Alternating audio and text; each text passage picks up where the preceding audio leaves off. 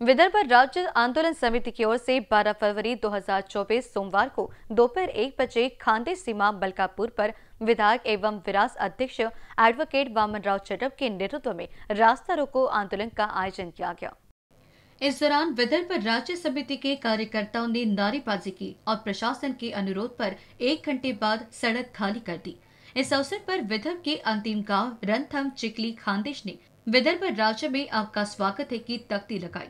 विरोध प्रदर्शन में मलकापुर तालुका आंदोलन के दौरान जिला अध्यक्ष एडवोकेट सुरेश वानखेड़े, जिला समन्वयक दामोदर शर्मा, तेजराव मुंडे, रंजित दूसे पाटिल, श्याम अवथले शरद पोफले ने अथक परिश्रम किया, जिसमें सैकड़ों कार्यकर्ता शामिल हुए आंदोलन की श्रृंखला को जारी रखते हुए 26 फरवरी 2024 को देउलगांव कुंपा, विदर्भ मराठवाड़ा सीमा से लोनार तक सड़क रोको आंदोलन करने की घोषणा की गई।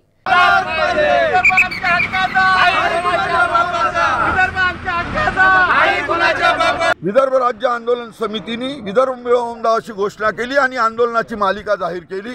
आणि एक जानेवारीला बिगडे जमान्यात पहिली तारीख आहे म्हणून रस्ता रोको आंदोलन केलं.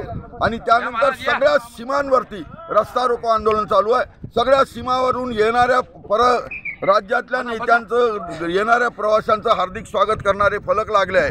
आणि आता ही ही लढाई विदर्भ मिळेपर्यंत थांबणार नाही. आणि आम्ही आता जंग बांधलाय. की शुरू हुई है जंग हमारी. लढेंगे जीतेंगे कटेंगे मगर हटेंगे नाही.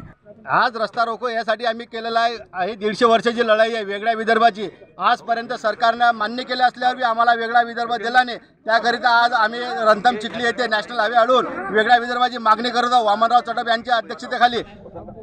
कॅमेरा पर्सन राजकुमार मोहर के साथ मनीष टेमरी की रिपोर्ट.